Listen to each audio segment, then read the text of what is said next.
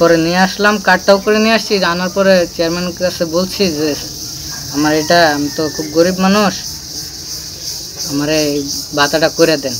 তো উনি স্মার্ট কার্ডটা দেখছে, দেখার পরও বলছে যে, ঠিক আছে সুযোগ সুবিধা আসুক, আসলে আপনাকে জানানো হবে।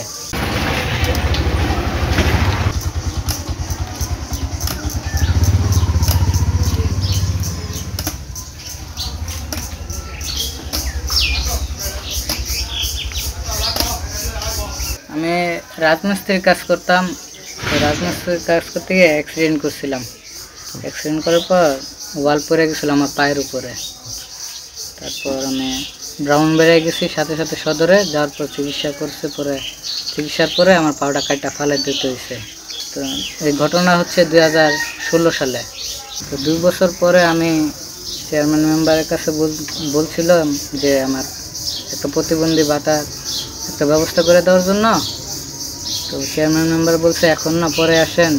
এই সেই করে আরও এক দুই বছর কাটায় ফেলছে।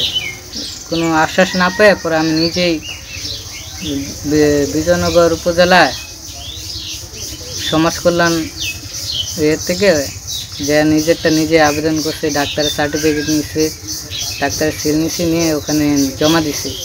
জমা দেওয়ার পরে ওনারা বলছে যে, যদি আপনার কার্ডটা হয়, আমার ফোন দিয়ে জানাবে পরবর্তীতে আমি প্রায় এক দু বছর কেটে গেছে, আমি তো যখন আর কোনো সন্ধান পাই নাই যে কার্ডটা হয়েছে কি না পরে আমি নিজেই বেশ কয়েকবার গেছি উপজেলায়।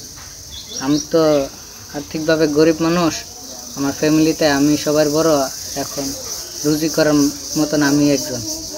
তো আমার ফ্যামিলি ক্রাইসিসে যেতেছে তারপরও আমি গেছি যে যদি সরকারিভাবে কোনো অনুদান পাই, যার জন্য গেছি। তো ওখানে যাওয়ার পর ওনারা বলতেছে যে কার্ড তো হয় না এই সে ঘোরাঘুরি করতেছে। পরবর্তীতে একজন আমারা বলল যে ওনারা দুশো টাকা দেন দেখবেন আপনি কার্ড বানাই দিবে।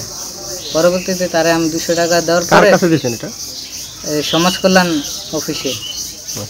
তো পরে উনি আমার কার্ডটা বাইর করে দেওয়ার পরে আমি ওখানেই বলছিলাম যে আমার একটা ভাতার ব্যবস্থা করে দেন। তো ওনারা বলছে যে আপনি চেয়ারম্যান বা আপনি মেম্বারের সাথে যোগাযোগ করেন করলে আপনাকে ভাতার কার্ড দিয়ে দিবে, ভাতাও দিয়ে দিবে। পরে আমি কিছু কিছু মানুষের থেকে কিছু কিছু তথ্য নিয়ে তারপর নিজেরটা নিজেই করতে গেছি।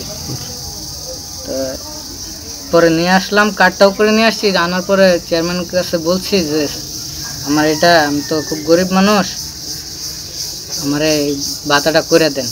তো উনি স্মার্ট কার্ডটা দেখছে, দেখার পরও বলছে যে, ঠিক আছে সুযোগ সুবিধা আসুক, আসলে আপনাকে জানানো হবে। তারপর দীর্ঘদিন এইভাবে প্রায় দুই বছর কেটে গেছে এখানেও দুই বছর কেটে গেল। তো আর না পাইয়া পরে আর কি করব হতাশ হয়ে গেলাম। পরে আবার বর্তমান আবার আমাদের মেম্বার চেঞ্জ হওয়ার পরে উনি বলছে যে আপনি যান যাই এটা অনলাইনে আবেদন করেন। এখন অনলাইনে আবেদন করছি এখন পাবো কি না আমার জানার নাই। বাতার জন্য প্রায় আমি সুস্থ হওয়ার পরে চার বছর হয়ে গেছে। চার বছর হয়ে গেছে। জি। মানে সুস্থ অসুস্থ ছিলাম ছয় বছর হয়েছে আর ঘুরতেছি প্রায় আজকে চার বছর ধরে কোনো ধরনের। পান না? না না। এই চিকিৎসা বাবদ কিছু ঋণ ছিল। তো ঋণ থাকা অবস্থায় আবার আমি কিছু ঋণ করে একটা গাড়ি কিনছিলাম। কেনার পরে বেশ কয়েকদিন কি গাড়ি কিনছিলেন? অটো গাড়ি। অটো? অটো গাড়ি চালাইছিলাম কারণ আমি তো আর এক পাও দিয়ে আর কোনো কিছু কাজ করা সম্ভব না আমার পক্ষে। তো কোনো কাজ পারি না, পারলেও এখন করতে পারব না। যার জন্য একটা অটো কিনছিলাম, মানুষের থেকে ঋণ করে কিনছিলাম, তারপর চিকিৎসা বাবদে কিছু ঋণ ছিল।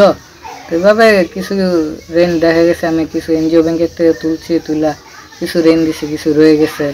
তো কেউ আত্মসম্মানে বাধে বিদায় কেউ আমাকে, আমার কাছে ঋণের চাপ দেয় না আবার অনেকে চাপ দিছে, যারা বুঝে না এরা চাপ দিছে। আর চাপ দেওয়ার কারণে নিজের কাছেও খারাপ লাগে বারবার একটা মানুষ আসে আমার কাছে আমি দিতে পারি না। পরে না পারতে আমি আমার গাড়িটা বিক্রি করে ফেলছি। কবে বিক্রি করছেন এটা?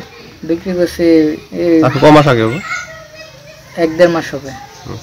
এক দেড় মাস হবে এখন আমি তো গাড়িটা বিক্রি করে এখন আমি আরও বেশি অসহায় হয়ে গেছি। যদি আমাকে প্রধানমন্ত্রী শেখ হাসিনা যদি একটা গাড়ি একটা অটো আমার কিনে দিত আমার ফ্যামিলিতে আমি চলতে পারতাম। কারণ আমার ফ্যামিলির ভিতরে আমি একজন রুজি করুন না।